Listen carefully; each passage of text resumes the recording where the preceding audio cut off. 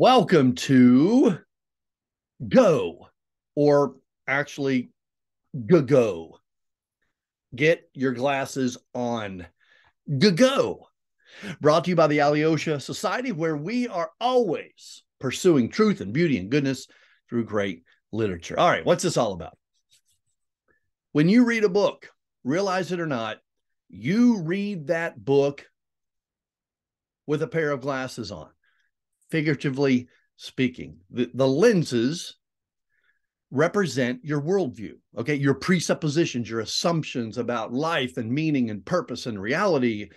And you read a story through the grid of this worldview perspective. We all do it, can't avoid it.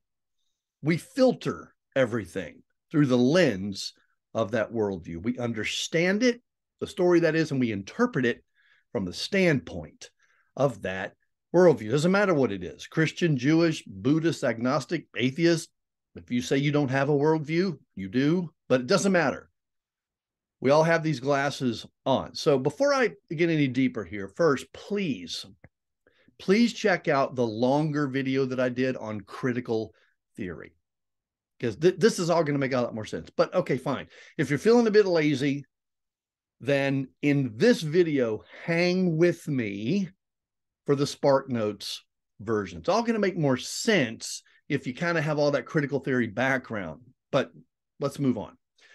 Uh, and I do want you to take note, please take note of this. I am not saying that there's no value to the approaches to literature often referred to as critical theory, whether it's feminist theory, queer theory, uh, critical race theory, you know, CRT, whatever.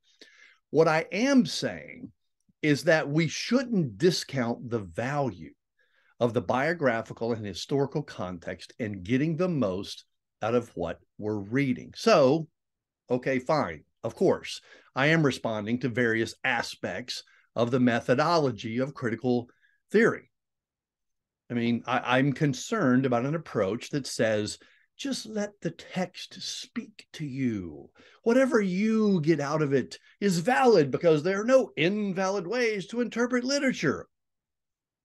Folks, that's just a that's just a fancy pants form of relativism as far as I'm concerned and I'm not I'm not buying it.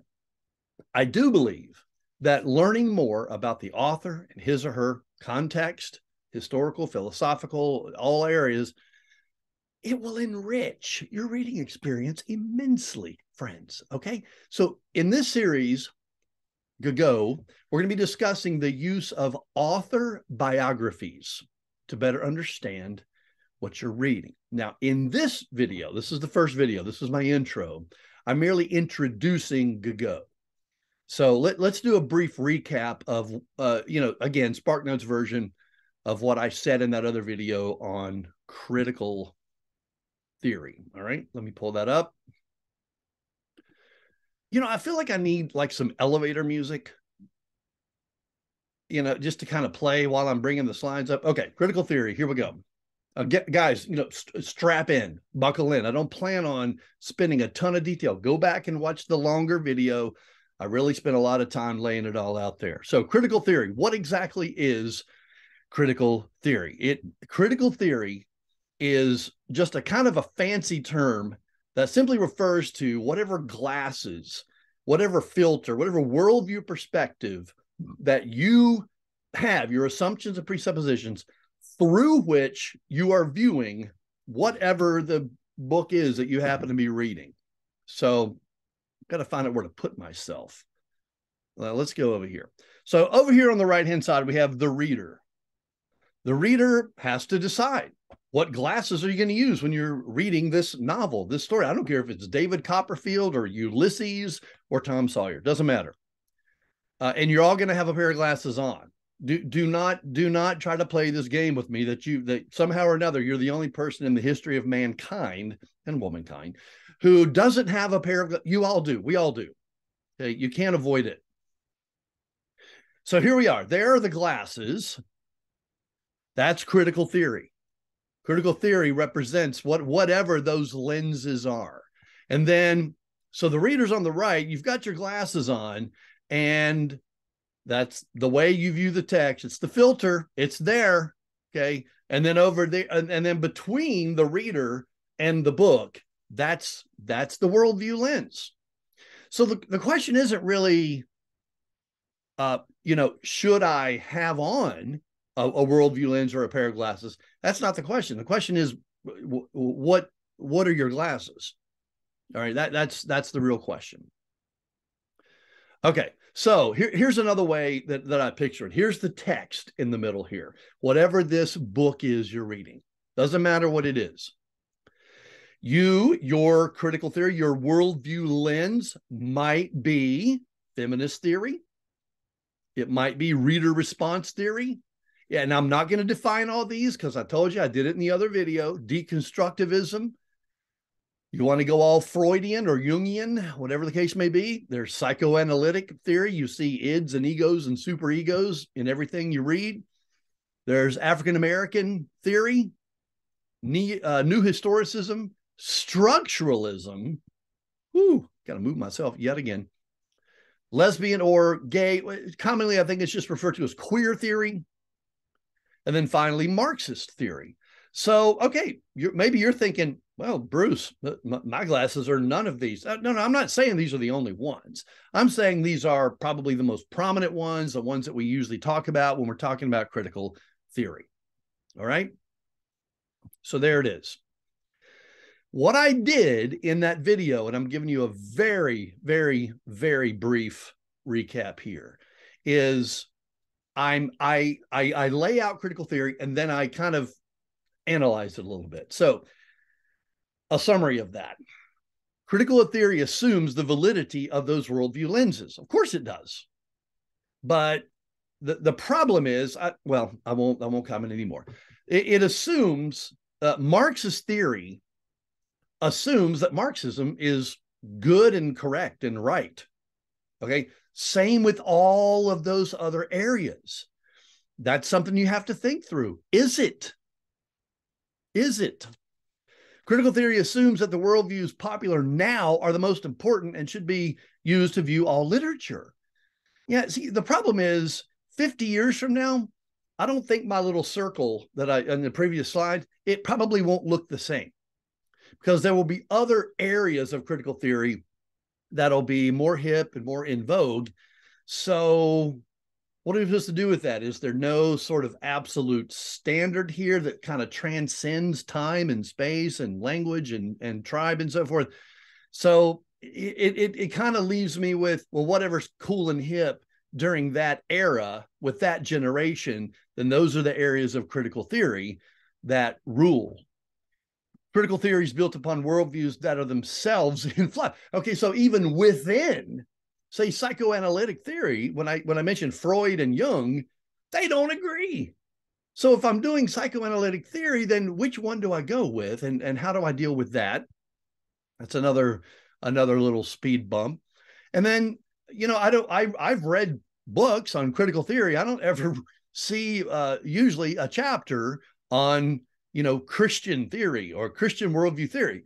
Now again, so you know, if, if supposedly all of these worldviews are valid, and there's no invalid way to interpret what you're reading, then why would that be the case? Just asking some questions, trying to start trying to start some conversations here. And so what I concluded is this. Now, when I'm teaching uh, critical theory to my students, I always want to start with don't don't go in hostile. Okay, look at it and ask yourself, okay, first of all, what's beneficial about this? What's good about it before before we kind of start ripping it apart? Well, I think there are some benefits. Knowing the various lenses can open our minds to see issues that we might have closed down otherwise. Now, I'm not going to name any, but you go back to that circle and you find the worldview perspective that let's say you're most opposed to or it's farthest maybe from where you are and some of your values doing critical theory at least opens your mind to see things in literature that might actually be there and you're not you, you, it's not something you would have seen okay? It's just something to think about. Knowing the various lenses will help us have a meaningful dialogue with those who are outside the christian faith. So you know, I don't, I think we shut down that dialogue when we just kind of write the whole thing off, you know, and we just say, well, Marxism's evil, so I'm not going to debate you about it, or CRT is evil, so I'm not going to debate you about it. Not helpful. Not helpful. So, what are the pitfalls, in my opinion? Well, go back to those four problems I just shared, so I won't reiterate those. Don't elevate the lens to the status of infallibility. See that that's problematic for me. If that filter you have, if you are viewing that filter as absolutely and completely infallible, then um, that's problematic. That's problematic. The only the only infallible truth is the word of God. So the only infallible perspective is the biblical one. So what do I do? Okay. And what am I going to be pushing in this series? I'm trying to lay it right out on the table for you. I use what's called the historical biographical approach. The historical biographical approach to interpret. What does that mean? What it means exactly what it says. I look at historical background, context. We read biographies of the authors and we try to learn more about the author. And then we try to then glean or draw out of the text the rich uh, truths and applications and, and beauty and truth and goodness that are all in there. We don't just make it up. We don't go by how we happen to feel that day. Um, so we start with what is genre? Okay, so the genre is going to dictate how I interpret a piece of literature poetry, historical fiction. Uh, is it an autobiography? Well, whatever, whatever the, you know, is it a Bildungsroman? Who wrote it? When, when did that person live? And what do I know about his or her life? You know, guys, the ones I'm going to be sharing with you, every single one of them, their novels are just kind of infused with the the the character and the life experiences and family struggles and triumphs of the author. And it's important you know we do a little research i think we'll get more out of it. Who now this is another what's interesting to me. When i when i teach certain authors if we're really digging deep we'll ask the question well who were the favorite writers and thinkers of that author? You know jane austen was an avid reader. Okay what books was she reading? You know, same with Dostoevsky, same with Flannery O'Connor. I want to know, you know, uh, because that's going to give you some insight as to what, you know, was going on up here when they were crafting this story. What do we know about the cultural and historical context? I, I, I mentioned that already. That's a part of the historical biographical approach. And, you know, asking if if there was a specific audience that this author was targeting, then I may not be today living in the 21st century. I may not be a part of that particular audience, but knowing, you know, as much as I can about that audience is going to, I think it's going to give me some insight into better understanding what's going on in the story. So there you have that. Let's wrap this one up. And I, I am going to tell you this, and I'm trying to, I'm trying to do it here. This will probably be the longest one in the series I, I am trying to keep these videos kind of more short and sweet. So, okay. So now that you know where I stand, I want to offer some suggestions as to which biographies would be good ones. I'm not going to say that these are the best. I'm just going to be sharing with you. These are the ones I've read and they were good and they were helpful. Okay, so I'm, I'm going to share that with you some autobi- uh, some autobiographies too, and so I'm going to cover at least the following: Flannery O'Connor, Fyodor Dostoevsky, Mary Shelley, Jane Austen, James Joyce, and Virginia Woolf. Just for fun, I might do a separate video on good biographies of the presidents just to have a little bit of fun with it. I kind of went through this weird phase several years ago where I set out to read at least one biography of every president of the United States. And uh, I got a, I got a little ways through, but I, uh, I, I didn't make it. Okay. But I, I, read some really good books and I may share those with you. So, all right. Now that you know what G-GO is, G-GO and check out that video on critical theory. Uh, that was such a dad move. Yeah, I'm not even. I'll probably edit that out. So in the next vi- the next video, we're going to be talking about good biographies on Flannery O'Connor. If you have any comments or questions on what I'm sharing here, please. I'd love to hear from you. Bruce at alyosha society.